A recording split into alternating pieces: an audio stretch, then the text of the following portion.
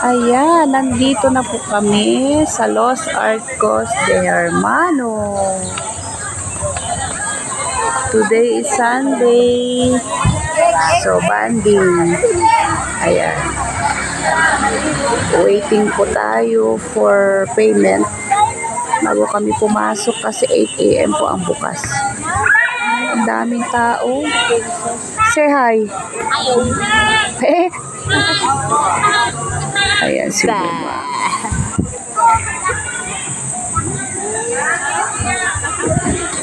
Princess.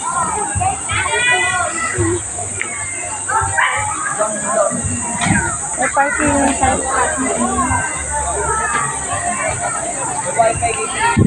Ang dami na pong tao, mga kaibigan.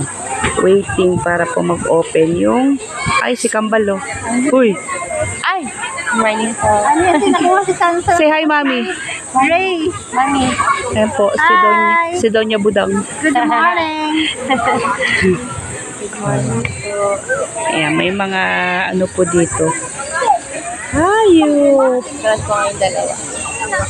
Mga pato. Kwak, kwak, kwak, kwak. Eh, picture kayo, be. So, ang ganda dito kasi presko. Ang daming puno. Santol, mangga. Picture dito. Tapos mga MacArthur tree. Ang tataas. Yan. Ano tayo mo yung ato? Ah, picture dito. Ay, what's that? You, but you.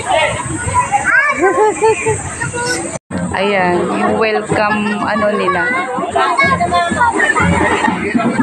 Welcome sound. So, yung bukas na yung opisina. So, magbabayad na po kami. Nakapila.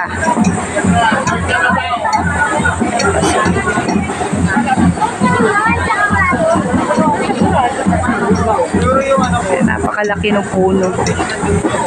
Ilang taon na kaya ito?